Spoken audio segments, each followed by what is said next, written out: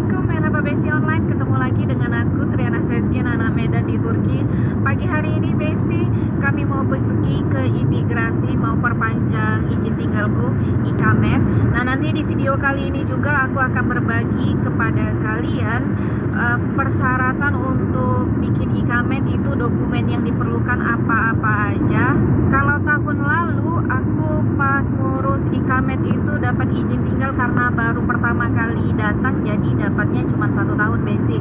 Uh, untuk kali ini perpanjangan kali ini mudah-mudahan uh, ikametku dikasih izin tinggalnya selama tiga tahun ya. Doain ya Besti mudah-mudahan uh, semuanya dilancarkan kemarin diinformasikan rendezvous-nya dapat jadwal jam 9 pagi Besti. Itu kenapa kami harus perginya pagi-pagi banget Biar supaya kita antriannya juga nggak lama. Di Ankara takutnya kan macet itu.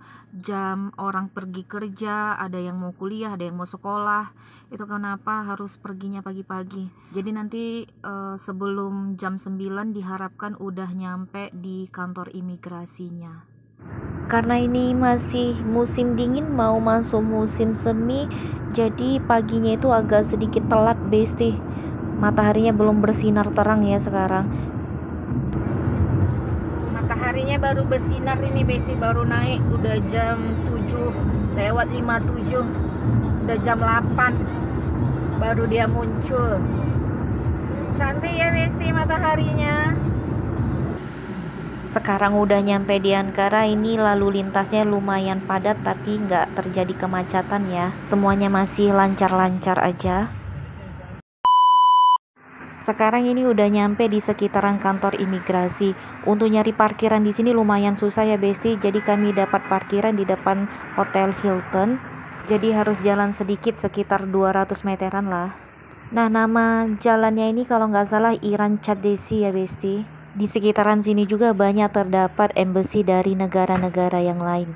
Sekarang udah di dalam kantor imigrasi, aku dapat nomor antrian 240 besti, ada 10 orang lagi di atasku. Sambil nunggu giliran, ini suamiku ngerapiin dokumennya besti, istrinya tenang-tenang aja duduk santai dan akhirnya tiba nomor antrian kami. Benar aja Besti ada terjadi sedikit kekurangan. Slip gajinya belum distempel oleh petugas bank Besti. Mau nggak mau kita harus ke bank terdekat sekarang. Sambil jalan Besti ini aku mau nunjukkan sama kalian di sekitaran kantor imigrasi ini banyak sekali kantor yang menawarkan jasa pengurusan Sigorta, Ikamet dan lain-lain. Jadi kalau nggak mau capek, nggak mau repot, mau terima jadi, terima tinggal beres aja, Biar lebih gampang, cara cepat dan praktisnya kalian harus menggunakan jasa pengurusan Sigorta. Karena ini udah dapat stempel dari bank, kami mau lanjut lapor kembali Besti. Setelah tadi dicek ulang oleh petugasnya, akhirnya semua dokumen kita sudah lengkap dan ini kami mau pulang karena suamiku masih harus kerja lagi Besti. Ada pertanyaan dari Besti online buat ikamet itu pakai visa nggak? Jadi Turki Indonesia itu sekarang bebas visa ya Besti. Kalian bisa berkunjung ke Turki free visa selama 30 hari. Selama jangka waktu itu belum berakhir, kalian masih bisa mengurus ikamet izin tinggal kalian. Tentunya kalian harus gerak cepat ya, karena untuk mengurus ikamet izin tinggal itu memerlukan waktu. Jika lebih dari 30 hari, pasti kalian akan kena denda. Untuk itu aku sarankan kalian harus membuat visa agar lebih aman dan waktu pengurusan ikamet juga lebih lama. Alhamdulillah Besti semuanya udah selesai jadi ini sekarang mau jalan pulang. Mohon maaf ya Besti aku sambung di sini aja videonya uh, dokumen apa aja yang dibutuhkan untuk membuat ikamet. Jadi membuat ikamet itu memang sedikit agak ribet. Jadi kalau kalian gak mau ribet, kalian bisa menggunakan jasa uh, calo. Jadi kalian harus bayar. Tadi udah aku shoot juga kan uh, di daerah imigrasi itu banyak kan kantor-kantor yang memberikan jasa untuk membantu kalian membuat semua urusan kalian selama di Turki. Nah untuk pembayarannya itu berapa? Mohon maaf Besti aku nggak tahu karena aku juga ngurus buat ikamet ini sendiri berdua sama suami nggak ada uh, bantuan dari calo ya. Nah persyaratannya itu apa-apa aja aku akan jelaskan Besti. Uh, misalkan ada kurang lengkap atau yang terlewat persyaratannya mohon dimaafkan ya Besti. Kalian bisa tulis di komen uh, untuk memperbaiki kesalahan aku jadi uh, persyaratannya itu yang pertama sebelum kalian membuat ikamet kalian harus daftar secara online. Nah, nanti setelah daftar secara online di situ kalian harus mengisi ada beberapa yang harus kalian isi, kalian bisa lihat di situ.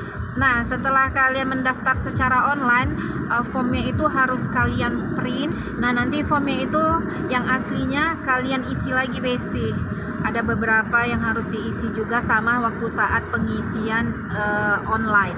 Di situ nanti dijelaskan semua uh, persyaratannya, dokumen-dokumen apa aja yang harus kalian lengkapi. Semuanya bisa kalian baca di situ.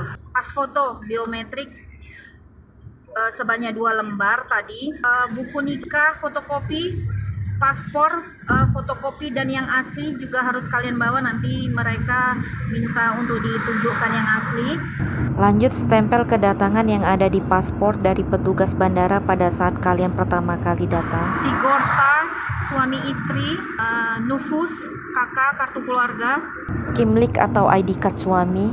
Terus bukti izin nikah dari uh, KBRI kemarin waktu pertama kali uh, aku membuat ikamet uh, mereka minta izin menikah dari KBRI itu yang asli. Jadi izin nikah aku itu uh, tinggal di kantor imigrasi ya Besti. Jadi kata mereka kalau misalnya sewaktu-waktu perlu boleh diambil.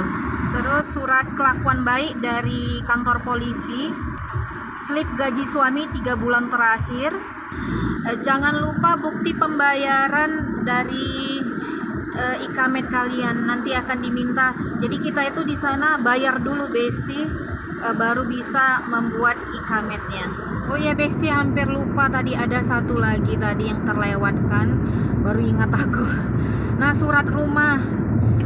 Aku pernah dengar sebagian teman-teman yang ngurus ikamet itu diperlukan surat rumah ya. Surat rumahnya itu kan harus disahkan dengan notaris ya this I explain this video. Suamiku bilang don't need. Ya yeah, I explain now. Jadi surat itu nggak diperlukan ternyata Besti. Petugas imigrasinya mengembalikan lagi suratnya.